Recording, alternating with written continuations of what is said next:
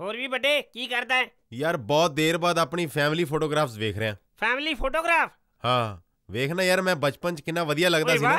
ਬਚਪਨ ਤੇ ਤੇਰੀ ਢਾਈ ਅੱਖ ਸੀ ਯਾਰ। ਉਹ ਤੂੰ ਯਾਰ ਫੇਰ ਸ਼ੁਰੂ ਹੋ ਗਿਆ। ਓਏ ਮਜ਼ਾਕ ਕਰਦਾ ਹੈ। ਚੰਗਾ ਇਹ ਕੌਣ ਆ ਤੇਰੇ ਦਾਦਾ ਜੀ ਹੈ। ਆਹੋ ਇਹ ਮੇਰੇ ਦਾਦਾ ਜੀ ਨੇ। ਵਾਹ ਯਾਰ ਬੜੀ ਸਮਾਰਟ ਹੈਂਡਸਮ ਹੈ ਯਾਰ। ਆਹੋ ਤੈਨੂੰ ਪਤਾ 에ਅਰ ਫੋਰਸ ਸੀਗੇ ਪਲੇਨ ਉਡਾਉਂਦੇ ਕੀ ਸੀ। ਗੱਲ ਕਰਦਾ ਹੈ?